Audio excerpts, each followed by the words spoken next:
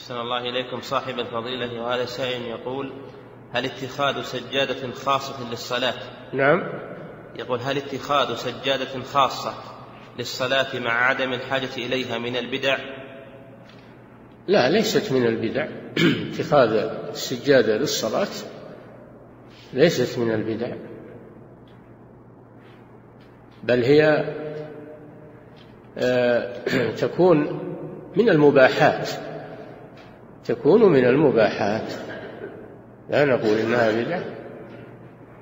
والمصلي يصلي على حسب حاله على الأرض أو على فراش أو على سجاده